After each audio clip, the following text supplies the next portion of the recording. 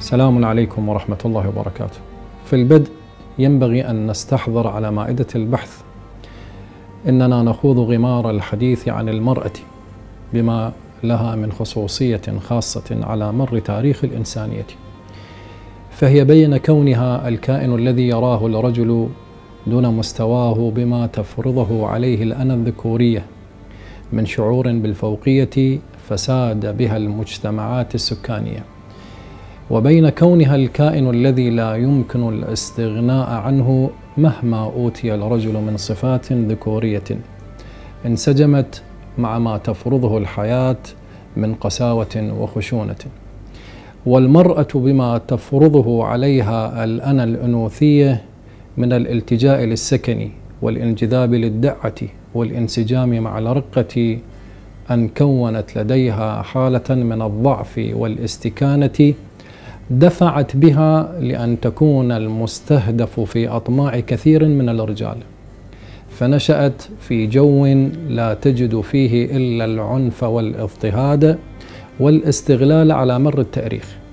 وإن اختلفت هذه المظاهر الحياتية على الأرض بين مكان وآخر. والمرأة في نفس الوقت وفي كثير من المجتمعات وتعدد الثقافات كانت ولا تزال الصياط الذي أراض الكثير من الرجال بما تفرضه الحاجة الذكورية عليهم من سلطان.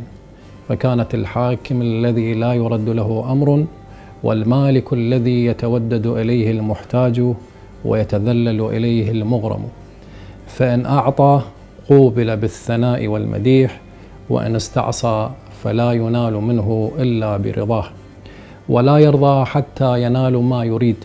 وفيما تريد المرأة هلكت أمم وضاعت ملل وهدمت أركان كما كان في أمر قطام بنت الأخضر بن شجنة من بني تيم الرباب التي قتل أمير المؤمنين علي عليه السلام أباها وأخاها بالنهروان وكانت من أجمل نساء زمانها فلما رآها عبد الرحمن بن ملجم شغف بها واشتد إعجابه فخبر خبرها فخطبها فقالت له ما الذي تسمي لي من الصداق؟ فقال لها احتكمي ما بدا لك. فقالت أنا محتكمة عليك ثلاثة آلاف درهم ووصيفا وخادما وقتل علي بن أبي طالب عليه السلام. فقال لها لك جميع ما سألت. والمرأة لن تكون الأمومة إلا بها والزوجية إلا معها والنسل إلا منها. وهي مع هذا وذاك جلست على العرش وتقلدت التاج والصولجان وحكمت البلاد وساست العباد كبلقيس السبائية وزنوبية التدمرية وغيرهن من النساء. إلا أننا هنا نتحدث عن امرأة بما لها من خصوصية المرأة. إلا أنها ليست كبقية نساء الدنيا منذ أن وطأتها قدم بني آدم وإلى يوم انقضائها.